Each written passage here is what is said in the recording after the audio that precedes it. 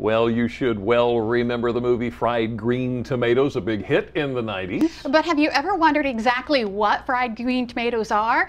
Laura Weldon from the Dorchester County Historical Society is here to show not only how to make them, but share with us how Dorchester County is celebrating the history and heritage of the tomato and really all agriculture. Yep, that's exactly what we're doing. welcome um, to the show. Yeah, we, are calling it Tomato Festival, even though um, we grow a lot of tomatoes on the Eastern mm -hmm. Shore. We're I'm not quite sure who's the largest producer, but it's not us anymore. Okay. Yeah. Um, but we wanted to come up with something at the Historical Society that celebrates the agricultural heritage of the Eastern Shore. Right, right. Um, and we have peach festivals, we have strawberry festivals, we have apple festivals, we have seafood festivals, we have everything. We have nothing that honors the tomato. The tomato. Okay, so um, we're going to make some fried that. green tomatoes. Yeah. not many ingredients. No. Tell us what, what do we use? What, what's in there? Okay, well let me tell you something about the tomato. Basically, it's most people use green tomatoes because if you take a look at this slice, it's pretty. I wouldn't necessarily use green. it as a foundation of a house. Right. But it's very it's very firm and it's the structure's very um, very hard, if you will. Yeah. Um, so that way, uh, it's not going to fall apart in cooking. Oh, okay. That doesn't mean you can't use a ripe tomato. It's just that you have to be a little bit more careful when you're frying it because it might fall apart. Gotcha. But okay. most people use green tomatoes. and historically, green tomatoes, what else? What else do we have here? We have all of these ingredients. Which are? This is uh, cornmeal, white okay. cornmeal, flour, yeah. scramble up an egg. Got an egg. That's separate. Good. Uh, this is salt, onion powder, and pepper. Gotcha. All of these use to your taste. You can throw in some other seasonings if you want. Okay. okay. So the first thing you're going to do, what you're going to do, you're you're queen of the dredge, and you are king of the slice. I've never I'm, been called I'm going to get you a banner that says queen of the dredge. Do I get a tiara I'm going to tell you, yes, I absolutely. will work on okay. that. so I'm slicing this? Yes, you're going to slice this, but what you want to do is you want to take out the center. Now this is going to be tough. You're going to think you're going to think you're cutting an apple. Right. So you want to cut out that core, okay. and then you're going to slice it about a half inch Gotcha. thick. Alrighty. All right. And so then when you get those slices, if you just want to do a couple of them to save time, you don't have to cut the whole thing. And then um, put them on this paper towels, and I'm going to show you what the fun you're going to have with I might be pretty towels. good at slicing tomatoes. You never know. but green tomatoes, they're a little harder to slice. Yeah, and you want about... Let's test him.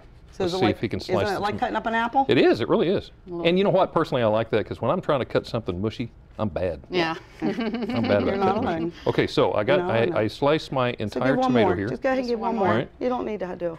Now, you like you. How much of my thumb do I get to take off? Yeah, please let us know what part of that tomato is your thumb oh, so okay. we can avoid that. All right, so what you're going to do on these paper towels is you're going to put these here. Now, this is this is a this is and you're frying anything, anything, not just tomatoes. See all that liquid in there? Right. You want to dry that off with paper toweling Why?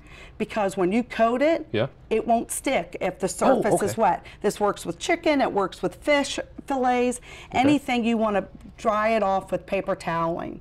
Okay. And so, there we go. Yep, and there you go. Right, now I'm gonna slice a few more, and she's dredging. Queen dredge. Okay. Queen dredge. All right. So what I have here. Queen dredge. Now that now it seems like like ridiculous that we just dried off those tomatoes just uh -huh. to get them wet in egg. Okay. But that'll put a little bit of flavor in it, make it a little bit rich. You're gonna dip it in the egg. Okay. And of course we mixed all of the ingredients: uh, the flour, the cornmeal, the yep, salt, that's pepper. all mixed. And again, you can add other other seasonings in it that you want. It's up to you. Okay. How about Old Bay? Huh. I started saying you got to put Old Bay in there. we put Old Bay in everything.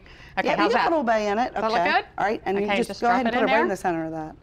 And that should start frying so, up, or not. So do you get um, yeah, it is. So what you want to be careful of is a couple things here. Fried, this is such an easy dish to make. It is such an easy dish to mess up. Really? Because this, all that, um, the cornmeal and the flour will start to float off. It'll get up in that oil, and yeah. as your oil heats up, that cornmeal will fry, will turn brown very, very quickly, and ah. it'll start smoking and everything.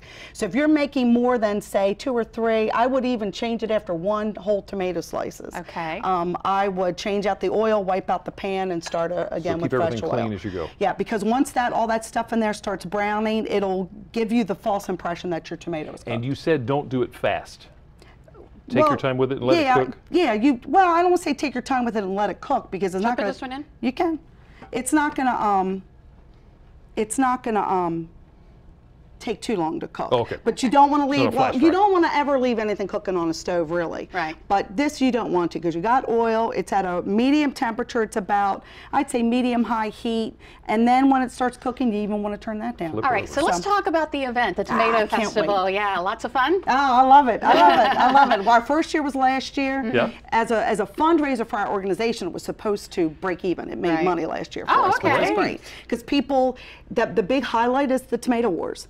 And um, we have, and uh, you're, you're showing great pictures of all the different events that go on during Right. the, the festival. But there's actually a tomato battle. Actual tomato battle. And we And came it up with a set of rules. That, uh, Charlie, uh, Travels with Charlie gave us that video. Yeah, now that's that's right in front of our front yard. Oh, but my the actual tomato wars, we have timed heats. Uh-huh. We had six different teams. All of them were sponsored by businesses, um, and basically what they do is they got about a minute to throw tomatoes at each other, and they we give them a special white tomato emblazoned T-shirt, and the team that has the least tomato goo on them wins a giant tomato trophy with Nice. nice. Um, and ironically, last year the team that won was Dead Aim, sponsored by a funeral home. Wouldn't you know? Okay, so we're this is starting. We're Yep. going to start this. Aren't you excited How long about should that? it cook? Um, I when you start to see the edges brown a little bit, that that coating Right. brown a little bit, that's when you want to flip it. Okay. All right, so what we, through the magic of television, are going to go ahead and taste some uh, fried green tomatoes Sure. that you actually cooked up before. Yep. So, because otherwise we She's getting a fork. I'm not going to get a fork. You're, you're used to pick it up? Okay. You Well, can, that's you what can. do. gonna Is say. Yeah, that that's a good I mean, one. is to there an pick up. etiquette with uh, No. eating fried green? No, There's not It's any- okay just to there's- dive right into it yeah. and go? Mmm. Boy, that reminds me of home. Wow, that really is good. All right, we're going to go over the event details for the Great Eastern Shore Tomato Festival, Saturday, August 17th. It starts at 10 a.m. in historic downtown Vienna. If you want some more information, 410-228-7953. Still to come on Delmarva Life, where is Brian? He's somewhere on the peninsula. Brian, we're ready for our second clue. Well, Lisa, here is clue number two, and it is also your final clue, so pay close attention. Clue number two this place ranks number two. What is that all about? I'll explain because I'm going to reveal where I am when we come back. Stay with us.